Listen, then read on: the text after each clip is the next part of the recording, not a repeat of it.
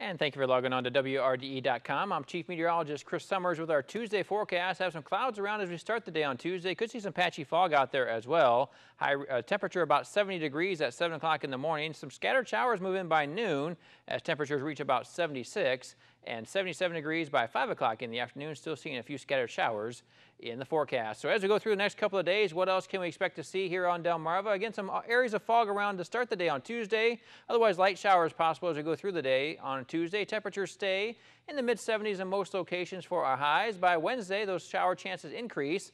So better chance of rain move in for Wednesday with mostly cloudy skies. Again, temperatures staying low to mid 70s in most locations. But by the time we get to the end of the work week and into the weekend, those temperatures really cool off.